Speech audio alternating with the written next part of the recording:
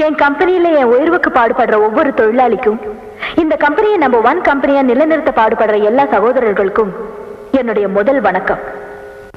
நம்ம கம்பெனியில எல்லா தடவையும் நடக்கிற மாதிரி இந்த தடவையும் எலெக்ஷன் நடக்க போகுது. இந்த தடவையும் நம்ம மேனேஜர் தான் யூனியன் லீடரா தேர்ந்தெடுக்கப்படுகிறார். இந்த சந்தோஷமான விஷயத்த உங்ககிட்ட சொல்ல நான் கடமைப்பட்டிருக்கேன். அது எப்படிங்க? தேர்தலே நடத்தாம நீங்க தலைவரை தேர்ந்தெடுப்பீங்க? போட்டியில ஜெயிச்சாத்தான தலைவர்? அதுவும் எங்களுக்கு தலைவரா வர்றவரை? போட்டி இல்லாம நாங்க எப்படி தேர்ந்தெடுப்போம்? என்னத்த போட்டி தேர்தல்? சொல்லு பண்ணாதடா.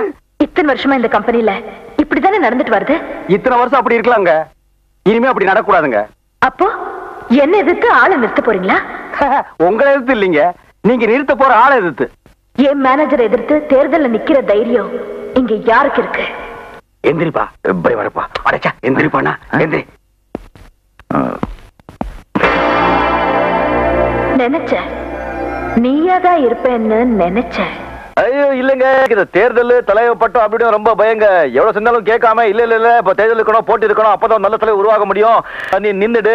ரெண்டு கை தட்டாதான் சத்தம் வரும். ஒரு கை வீசினா அடிதான் விழும். அடிக்கிற கையை தடுக்கணும். அணைக்கிற கையை முத்தம் கொடுக்கணும். நீ நின்னுடு அப்படி இப்படி சொல்லி நம்மள குழப்பிட்டாங்க. நானும் நின்னுட்டேங்க. இவருக்கு போட்டியா நிக்க போற அவரை? ஆதரிப்பீங்களா?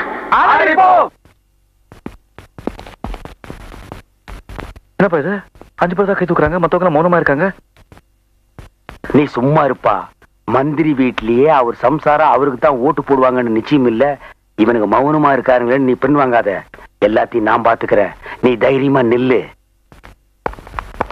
இந்தப்பா இருங்கப்பா. இங்க பாரு நான் சொல்றேன் கேளுங்கப்பா. எல்லாம் நம்ம ஆளுக்கே ஓட்டு போடுங்கப்பா. கிருஷ்ணாவுக்கு ஓட்டு போடுங்கப்பா. இந்தப்பா ஓட்டு போடுங்கப்பா. தேர்தல்ல என் மேனேஜர் ஜெயிக்கட்டும். அதுக்கப்புறம் உன்னை என்ன பண்றேன்னு பாரு.